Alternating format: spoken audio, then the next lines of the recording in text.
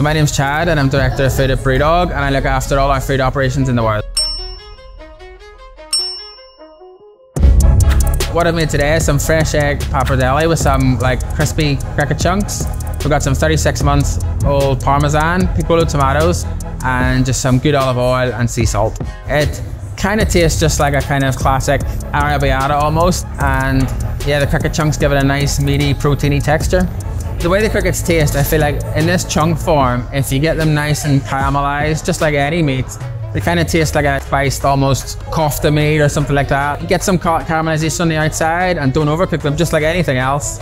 Yeah, they can be juicy and have a nice texture to them. It can be a good meat substitute.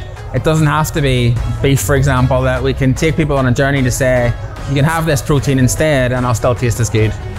I do see a place for insects in the future. I guess I see a place for any modern regenerative takes on farming or food production and anything we can do in commercial kitchen settings to be better for the planet is always a good step and it's a product that helps us to be greener and better for the planet.